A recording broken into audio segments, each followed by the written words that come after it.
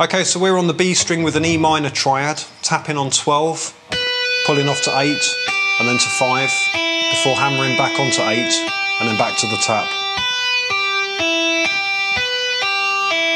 Now this fits within a 16th note time frame and is counted 1, E, and, uh, 2, E, and, uh, 3, E, and, uh, 4, E, and, uh.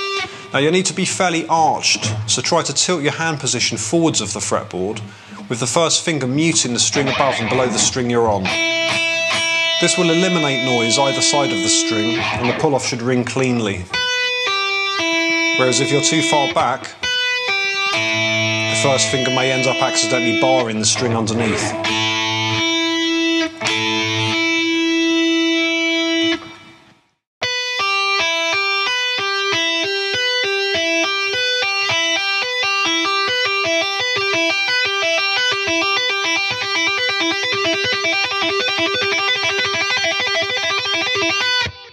So on beat four, the tap moves up a semitone.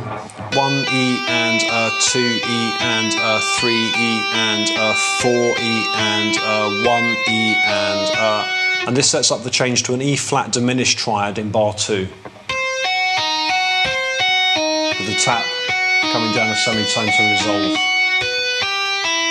Let's take a look at the example play through slowly.